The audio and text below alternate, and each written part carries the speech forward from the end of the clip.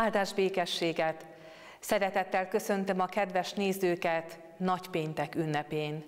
Isten igéjét olvasom János evangéliumából, a 19. rész 30. versét.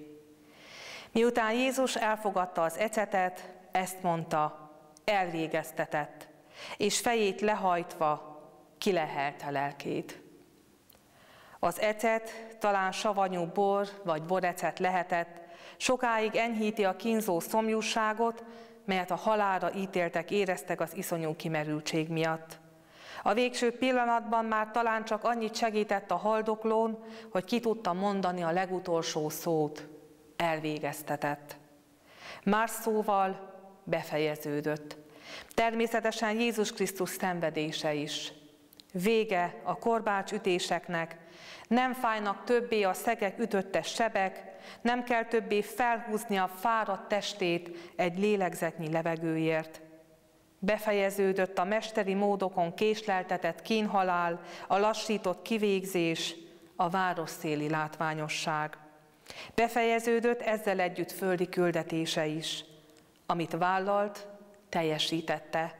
Dicsőségéről lemondott, szolgai formát vett fel, megalázta magát és engedelmessé lett mind halálig, mégpedig a kereszt halálig.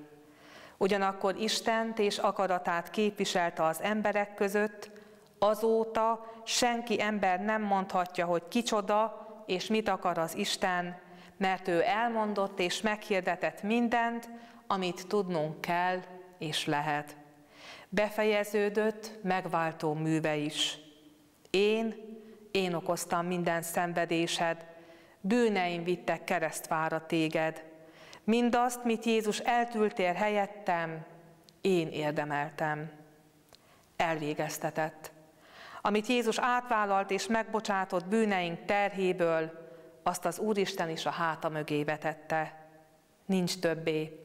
Ezért Jézus utolsó szava nem a legyőzött végső sóhaja, hanem sokkal inkább a győztes diadal kiáltása.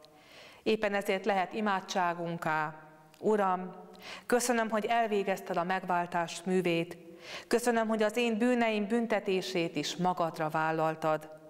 Keresztfádra nézek most hittel, segíts megvallani, és elhagyni bűneimet, és érted élni. Amen.